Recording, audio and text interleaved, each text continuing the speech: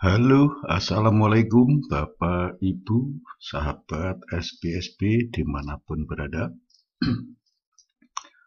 Pada kesempatan kali ini, saya ingin membagikan cara untuk mengatasi jika pada saat Bapak, Ibu, dan para sahabat SPSB membuka laptop tampilannya seperti ini. Jadi pada saat kita mau mengambil gambar atau memilih gambar munculnya thumbnail semua. Sehingga kita harus buka satu-satu. Sementara file yang mau kita pilih yang sebelah mana kita nggak tahu.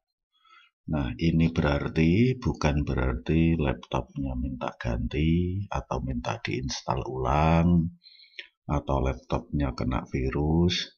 Bukan tetapi ada eh, caranya untuk memunculkan gambar. Jadi Bapak Ibu tidak perlu pusing-pusing.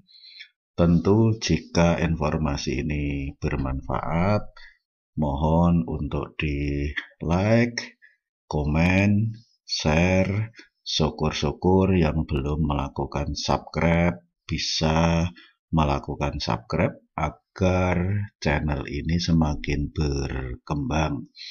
Dan jangan lupa untuk loncengnya diklik, dibunyikan sehingga ketika ada informasi terbaru dari channel SBSB, Bapak Ibu tidak ketinggalan. Baik, Bapak Ibu dan sahabat SBSB di mana pun berada, jika Bapak Ibu laptop atau komputernya menemui masalah seperti ini, maka langkah yang perlu dilakukan yang pertama kali adalah membuka laptop ini di explore atau dibuka di mana pun cara Bapak Ibu membuka. Dipilih di mana gambar itu tidak muncul atau munculnya hanya seperti thumbnail seperti ini. Lalu jika sudah dibuka seperti ini, maka di pojok kiri atas organisnya ini silahkan diklik. Kemudian Bapak Ibu pilih yang folder insert option.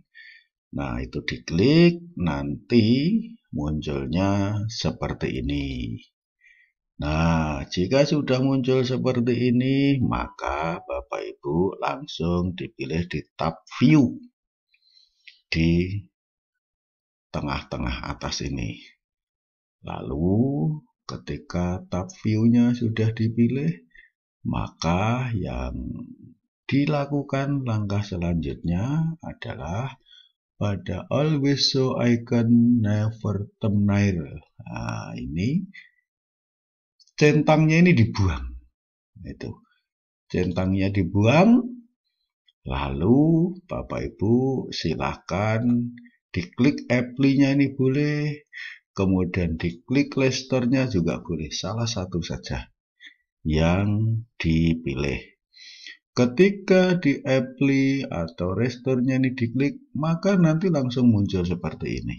Nah, mudah dan sangat sederhana serta tidak perlu cari paramek untuk menghilangkan pening kepala karena laptopnya tidak muncul gambarnya. Demikian informasi singkat yang bisa saya bagikan.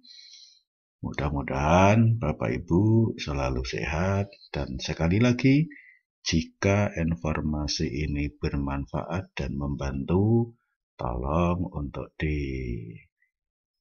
komen, like, subscribe, dan jangan lupa tanda loncengnya dibunyikan. Terima kasih. Assalamualaikum warahmatullahi wabarakatuh.